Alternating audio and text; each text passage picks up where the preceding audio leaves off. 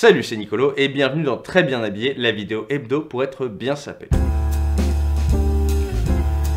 Aujourd'hui, on va faire une petite surpiqûre de rappel sur les bases. Choisir une bonne toile de jean. Alors, je ne vais pas te parler de coupe de jean parce que ça mérite une vidéo entière et même d'autres vidéos encore avant sur les morphologies. Pareil pour tout ce qui est des détails de puristes, de l'histoire, de la fabrication, etc. Ce sont d'autres sujets. Cependant, la majorité de ce qui distingue un bon jean d'un jean médiocre se trouve dans la toile. Savoir choisir une bonne toile, c'est donc déjà avoir fait une bonne partie du boulot. Reconnaître la bonne toile. On peut la reconnaître à plusieurs choses, à commencer par son aspect. Déjà partons du principe que vous cherchez un jean brut bleu, indigo classique, on parlera des délavés et des autres cas après. Visuellement, la couleur doit être profonde, lumineuse et nuancée. Elle doit avoir un certain grain, une certaine irrégularité, causée notamment par le fil de trame blanc qui ressort par endroits en créant cette petite aspérité. Ça paraît contradictoire, mais les toiles au coloris super uniforme prennent souvent un aspect très peu flatteur lorsqu'elles vieillissent. Il faut donc un coloris de départ suffisamment foncé pour s'assurer d'être sur une belle toile brute et un minimum de grains et d'irrégularité pour s'assurer que la toile reste intéressante quand l'indigo va s'estomper. D'ailleurs, ceux qui ne veulent vraiment pas de délavage sur leur vont être un peu déçus. Les plus belles toiles brutes se délavent souvent plus vite, voire sont même pensées pour. C'est assez lié au concept même du denim. A ma connaissance, le meilleur moyen d'avoir un denim qui est immuable en termes de couleur, c'est d'ajouter une belle proportion de synthétique plutôt qu'avoir un 100% coton. Ça donne souvent un effet un peu poudré, un peu étrange et aucune aspérité visuelle et ça respire mal. Ce type de produit est plutôt répandu en entrée de gamme chez l'homme mais à toutes les gammes de prix chez la femme où la recherche de ce rendu très lisse et immuable est assez populaire. Le poids et la rigidité. Une toile brute de bonne qualité est toujours plutôt rigide à l'achat, suffisamment pour que quelqu'un qui n'en ait jamais touché se dise « Oh waouh, on dirait du carton !» Si c'est pas le cas, c'est pas forcément mauvais signe, c'est que la toile est probablement one wash, c'est-à-dire qu'elle a subi un pré-lavage industriel mais du coup c'est plus une toile brute. Si c'est pas ça, c'est que c'est probablement un mélange coton poli ou une toile un peu trop légère qui d'ailleurs est souvent préférée par les marques grand public ou low cost notamment pour des raisons de prix. Le poids d'un denim s'exprime en once américaine, abréviée OZ, que l'on prononce souvent en OZ en France. Oui, oui, comme le magicien. Je vous conseille de choisir un poids entre 12,5 et 14 oz. C'est ce qui permet le meilleur compromis entre confort et solidité et ce qui permet de porter le jean à 3 saisons sur 4. Et si vous ne trouvez pas ce renseignement, bien par expérience, ce n'est probablement pas une marque qui vend des bons jeans. Voilà. Quant au stretch, c'est effectivement plus confortable et il y a plein de très belles toiles stretch de nos jours. Sachez juste que les plus belles sont souvent 100% coton, en partie parce qu'elles délavent mieux. Alors, selvage ou pas? J'ai fait un très long article qui explique absolument tout sur le selvage, ce que c'est, si c'est un signe de qualité ou pas, et je vous ai mis le lien dans la description. Mais pour vous la faire courte, de nos jours, ce n'est pas un signe de qualité parce qu'il y a du selvage absolument partout. Pour faire simple, disons que presque toutes les plus belles toiles sont selvage, mais toutes les toiles selvage ne sont pas forcément de grande qualité. C'est un peu pareil pour le pays d'origine des toiles d'ailleurs, facteur important. Les plus prisées sont les toiles japonaises, suivies de près par les toiles états-uniennes et juste derrière les toiles italiennes. Ces provenances sont bons signes et j'éviterai même d'acheter des toiles qui ne proviennent pas de ces pays.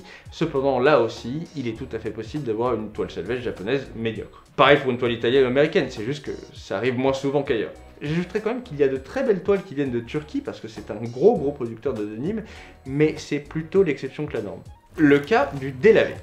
Le souci du délavé, c'est que comme on l'obtient à partir d'une toile brute en la délavant à l'aide de divers procédés, c'est plus difficile d'en reconnaître la qualité. D'abord, la toile délavée sera bien plus souple que sa version brute. Et là, la profondeur de la couleur et le choix de la nuance relèvent bien plus d'une question de design et de choix que de qualité de départ. Et puisqu'un délavage est généralement assez uniforme, bah, le grain de la toile, qui vous aide à reconnaître une bonne toile, se fait assez discret. Et même si un œil assez avisé peut faire la différence entre une belle toile délavée et une moins belle, le meilleur moyen c'est encore d'acheter vos jeans délavés chez les marques qui proposent de belles toiles brutes. Oui, parce que ces marques vont utiliser les mêmes toiles brutes comme base pour leur modèle délavé. Esthétiquement, je vous conseille de fuir les délavages à contraste grotesque, tout comme le faux vieilli qui rend mal 99 fois sur 100 couleur, le délavage peut l'emmener de légèrement plus clair qu'un brut, dite rinse, à totalement bleu ciel, dite bleach, en passant par un entre-deux, dit stone.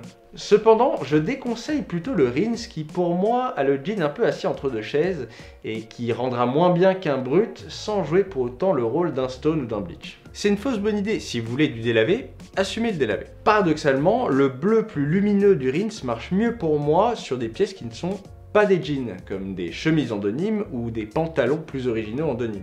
Le cas du jean blanc, du jean bleu clair, du jean noir et du jean gris. Au-delà des bruts et des délavés, il y a quand même d'autres coloris qui méritent qu'on s'y attarde et qui ont leurs propres critères de choix. D'abord, le jean blanc ou écru.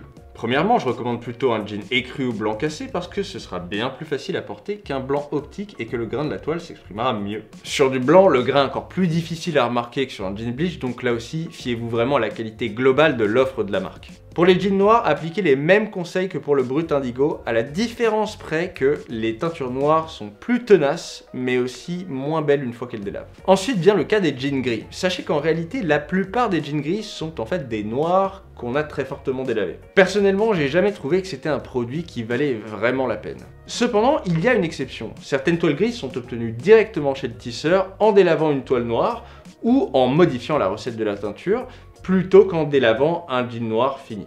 Ces toiles sont plus rares et elles ont l'avantage d'offrir la même texture qu'un jean brut bleu ou noir, mais sur un gris plus clair. Et c'est chouette. D'ailleurs, le même procédé existe pour des toiles bleues plus claires. Si vous voulez changer un peu du brut indigo très foncé, choisissez plutôt ça qu'un jean rince.